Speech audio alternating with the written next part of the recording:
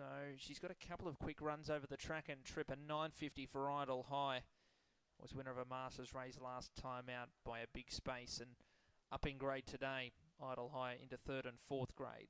Last couple come forward. Scratching here of seven. Prince Dougie leaves a field of seven for race seven. $1.75 Dino Cheyenne the fave. Set to run. Ready.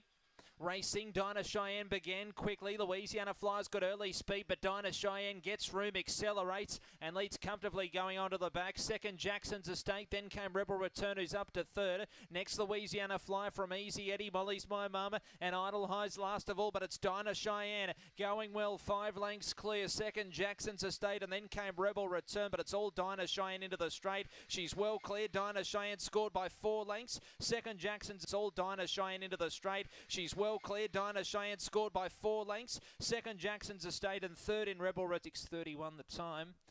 26 and 31 is the run. Margins we'll have through very shortly. Three and a half by a half length.